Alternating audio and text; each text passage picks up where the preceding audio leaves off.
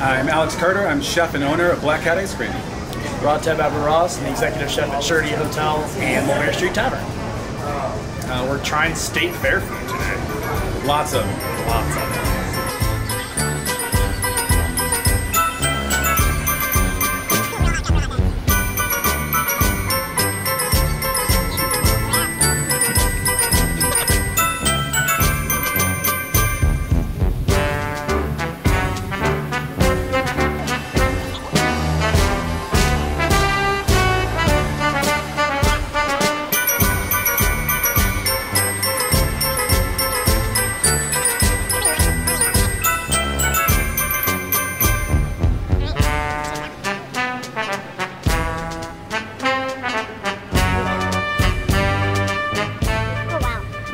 Uh, pace yourself. Don't do what we did.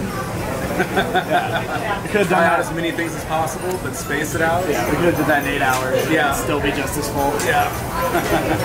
Don't have to work the shift after. Yeah. Ready for a nap? Yeah. For sure.